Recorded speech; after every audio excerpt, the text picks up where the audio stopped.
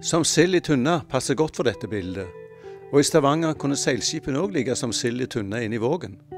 Den enorme sildemengden utenfor kysten av Stavanger på 1800-tallet sørga for gode tider i Stavanger.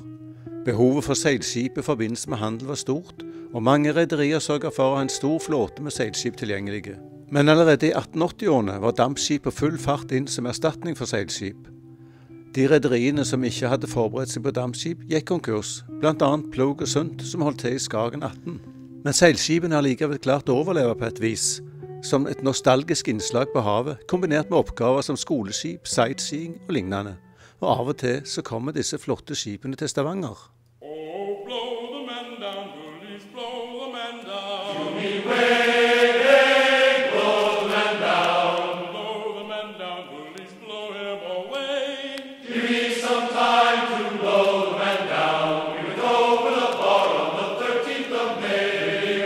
Det første Tall Ships Race ble gjennomført i 1953 som en markering av at seilskipenes tid var forbi. Det skulle òg knyttes bånd og etableres vennskap blant unge mennesker fra ulike land. Det er nemlig en betingelse at halvparten av mannskapet på skipene må være mellom 15 og 25 år, og de skal ikke ha erfaring fra seilskip. Meningen var opprinnelig at det skulle kun arrangeres én seilas, men det ble en så stor suksess at det ble bestemt å avholde flere seilaser. Og her er små glimt fra The Tall Ships Race 2018. Først noen aktiviteter som ikke lenger er helt vanlige i vår tid, men som nok var mer utbredt i seilskutetida. Steinarbeid er ikke dagligdags på torvet, men her ser du hvordan en steinportal ble lagt. Bygging av trebåter er det heldigvis også noen som driver med ennå. Lyden av bølgeskvulp på en trebåt er balsam for sjelen. En smed har òg dukket opp på torvet, som om det ikke var varmt nok. Og trenger du mast til seilskuta di, så har du kommet til rett plass. Du får akkurat den lengden du vil ha. Men la oss nå ta en tur rundt kaien og se hva der ligger. Det er en fin, varm ettermiddag. Det er ikke rart det er mye folk. Men så er det mye fint å se på òg. Vyvern ble konstruert av Colin Archer i 1897. Båten ble bygd av Porsgrunn båtbyggeri. Skroget er på 60 fot og har linjer etter tradisjonelle norske skøyter. Vyvern forliste i Østersjøen juli 2013, og én person omkom. Båten ble heva 11.8 samme år. Bak hevingen sto en rekke aktører innen olje- og gassindustrien i Stavanger. Golden Love ble bygd i 1937 på vegne av det danske landbruks- og fiskeridepartementet. Det var beregnet for store hav- og arktiske strøk. Skipet brukes i dag bl.a. til bryllup, teambuilding, produktpresentasjoner og lignende. Mannen ved navn Christian Radich var opptatt av å gi ungdom opplæring til å bli skikkelige sjøfolk, og testamenterte 90 000 kroner til bygging av ei seilskute. Han satte som eneste betingelse at du skulle bære hans navn, og sånn ble det. Anbudsrunden ble vunnet av Framnes Mekaniske Verksted i Sandefjord, og allerede i februar 1937 var fullriggeren sjøsatt. Her er en fin gjeng med mer uformelle seilskipsentusiaster.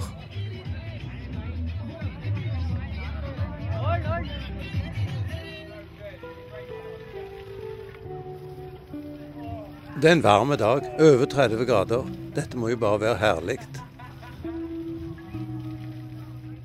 Dette er ingen representant for Tall Ships, men seil har han i alle fall.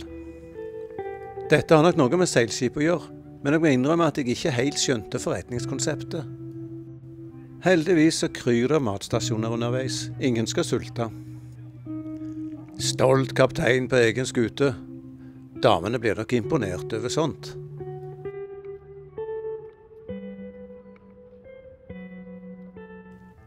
Nei, se der var han igjen, den stolte kapteinen. Kjekt med skikkelige motor på en stille dag. Og hvem vil egentlig ha ei seilskute? Seil i speil. Vinduene danner uansett en slags abstrakt bilde av de flotte seilene. Redningsselskapet er godt representert, men har nok lite å gjøre. Jeg må jammen si alt det vi kan koble med seilskuter, men flotte er de uansett, hva det nå er. Husene fra gamle Stavanger matcher fint, rent tidsmessig, de flotte skutene rett ned forbi.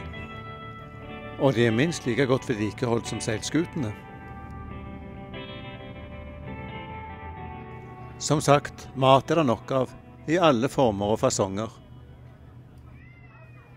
Vi beveger oss over på den andre sida av Vågen. Spesielt skipet midt i bildet skal vi se nærmere på. Men først skal vi forbi noen som søker fiskelykker.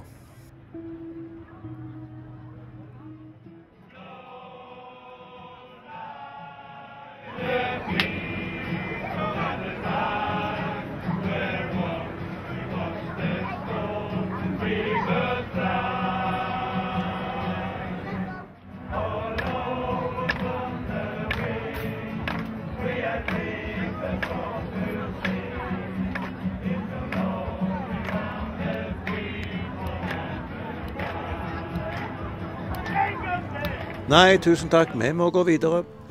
Dette er en kopi av restaurasjon. Den er bygd på Judaberg i Finnøy kommune, Rogaland. Båten ble sjøsatt 15.4.2010, og den originale sluppen seilte fra Stavanger 4.7.1825 og ankom New York tre måneder senere, etter en strabasiøs ferd. Det var 52 mennesker om bord, de fleste var kvekere eller dissentere. Nei da, ikke bli redd, dette er ikke noe sjørøverskip. Tvert imot. Det er et av Peter den stores krigsskip, sjøsatt i 1703. Vel, ikke akkurat dette. Det er en kopi som er sjøsatt i St. Petersburg i 1999. Byggetida var seks år. Originalen ble bygd på fem måneder. Men da var Peter den store som bestemte, og HMS var et ukjent begrep. Dagens versjon er for øvrig våpenløs og brukes som skoleskip. Kanskje har òg admiral Kreuz vært om bord i skipet. Kreuz sitt navn var egentlig Nils Olsen, og han kom fra Stavanger. Han flytta til Nederland da han var 14 år og tok navnet Kreuz. Han slo seg opp som skipsbygger, bergingsmann, karttegner og skipsfører. Peter den store besøkte Nederland og hyra Kreuz som viseadmiral i den russiske flåten.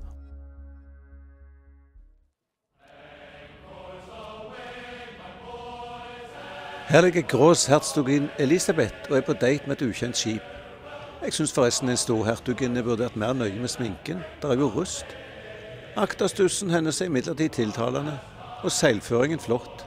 Det er kanskje det viktigste på et seilskip. Jeg syns jeg skimter et regjeringsmedlem i det fjerne. Ja da, statsråd Lemkull er selvsagt på plass. Ei flott skute som ble sjøsatt i 1914 med navnet Gråsherzog Friedrich August. En sprek hundreåring som faktisk har vunnet tolv skips reis hele ti ganger. Fredrik Chopin, som komponisten ved samme navn, kom med skuter fra Polen. Bygd i 1992, og i et kraftig uvær utenfor England i 2010 knakk begge mastene og skip måtte taues i havn. Ikke bare bare med seil, altså.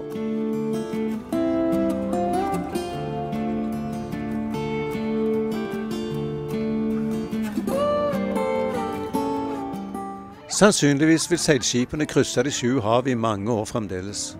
Om ikke av nødvendighet med hensyn til transport, men av menneskenes behov for å omgi seg med noe som er annerledes.